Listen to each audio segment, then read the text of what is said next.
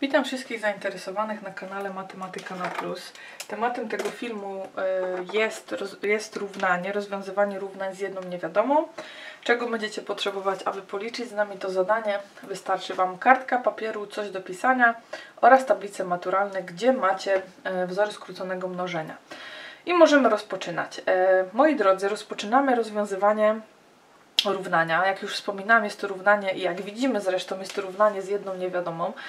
E, no i na początku musimy e, zabrać się za to równanie w ten sposób, że e, skorzystamy ze wszystkich wzorów, które mamy tutaj skróconego mnożenia, czyli musimy pozbyć się tych nawiasów tutaj, tych potęg. No więc idziemy na początek. Przypisujemy sobie naszą piątkę i w nawiasie będziemy rozbijać ten oto wzór, który jak widzimy jest to kwadrat różnicy. Otwórzcie sobie e, zeszyty, podręczniki albo jeżeli macie tablice maturalne, gdzie macie ten wzór i będziemy sobie e, tutaj liczyć. Czyli na początku mamy a minus b do kwadratu, czyli to będzie co? a kwadrat, czyli x kwadrat minus 2 razy a, czyli x razy b, czyli 1 plus b do kwadratu, czyli 1 do kwadratu. Zamykamy. Pierwszy wzór e, możemy uważać za rozpisany. Minus 2 razy. Drugi wzór z kolei to jest kwadrat, ale sumy. Czyli mamy jak? a kwadrat, czyli x kwadrat, dodać 2 razy e, a, czyli x, razy b, czyli 3, dodać b kwadrat, czyli 3 do kwadratu i zamykamy. I to się równa, moi drodzy. Dalej 3 i znowu mamy wzór na kwadrat sumy, czyli mamy na początku x kwadrat, dodać 2 razy a, czyli x, razy b, czyli 2, dodać b kwadrat, czyli 2 do kwadratu. No i moi drodzy jeszcze minus 7 E, I tutaj w sumie to już możemy na tym etapie sobie wymnożyć siódemkę przez ten nawias, ponieważ tu nie ma wzoru skróconego mnożenia, więc sobie wymnożymy. Minus 7 razy 6x to będzie minus 42x, minus 7 razy minus 1 to będzie plus 7. I teraz, moi drodzy, e, naszym zadaniem jest wymnożenie tych tutaj, e, znaczy inaczej, na początku zrobimy porządek w nawiasach może. Czyli tak, piątkę przepisujemy, Czyli mamy tak x kwadrat minus. I pamiętajcie, że jak mnożycie takie wyrażenia jak tutaj, to musicie mnożyć elementy z tych samych światów, czyli liczby razy liczby, pierwiastki razy pierwiastki, literki razy literki. Czyli my tutaj możemy wymnożyć tylko 2 razy 1, czyli to będzie 2x, dodać 1 do kwadratu to jest 1. Minus 2 i tak x kwadrat i tu możemy 2 razy 3, czyli to będzie plus 6x, plus 3 do kwadratu, czyli 9. I to się równa 3. I tutaj mamy x kwadrat, dodać 2 razy 2, czyli 4x, dodać 2 do kwadratu, czyli 4, minus 42x, dodać 7. I teraz wymnażamy nasze liczby i opuszczamy nawiasy, czyli 5 razy x kwadrat to jest 5x kwadrat, minus, 5, przepraszam, 5 razy minus 2x to jest minus 10x, 5 razy 1 to jest 5, i dalej, tu musicie uważać, bo mnożycie nie 2, tylko minus 2. Czyli minus 2 razy x kwadrat to jest minus 2x kwadrat, minus 2 razy 6 to jest minus 12x i minus 2 razy 9 to jest minus 18, to się równa. 3 razy x kwadrat to jest 3x kwadrat, 3 razy 4x, czyli to jest plus 12x, 3 razy 4 to jest plus 12, minus 42x dodać 7.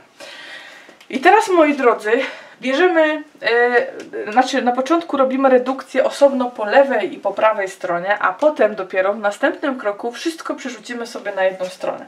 Czyli na początku zajmujemy się osobno lewą i osobno prawą stroną.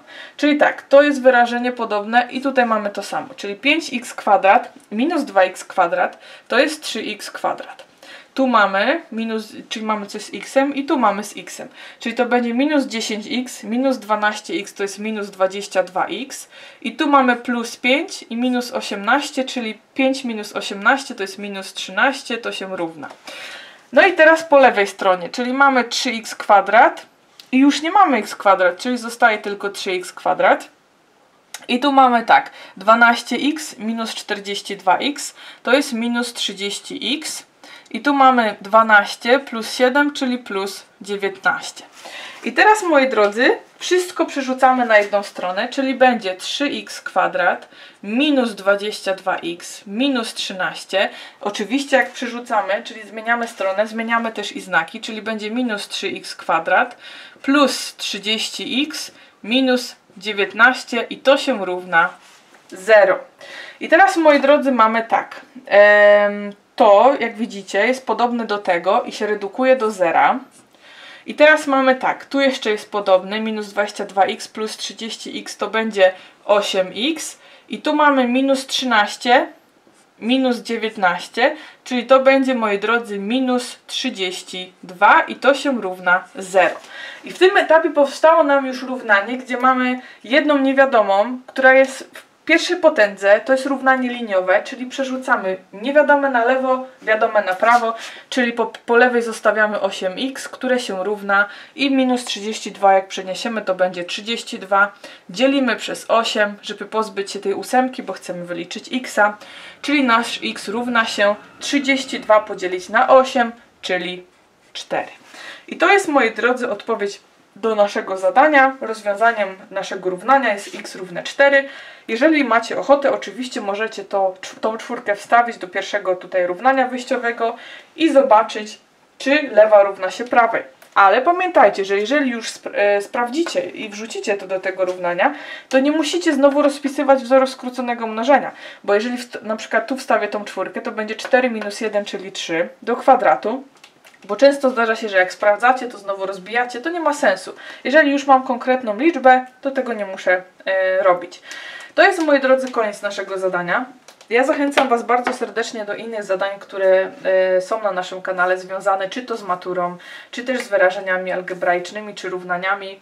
E, ja zachęcam Was także do kontaktu z nami w przypadku pytań, wątpliwości e, lub też jeżeli chcecie, um, żebyśmy umieścili jakieś zadanie, mail w opisie do filmu i cóż, zachęcam do polubienia filmu, do subskrypcji kanału, życzę udanego dnia i do usłyszenia.